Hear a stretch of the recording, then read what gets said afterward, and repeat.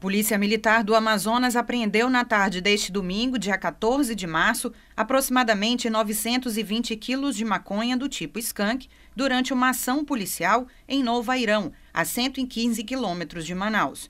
Após denúncia, policiais militares do 6 Grupamento de Polícia encontraram material entorpecente escondido sob lonas plásticas, às margens de uma área de mata fechada no arquipélago de Anavilhanas, a cerca de 40 minutos de distância de barco do município.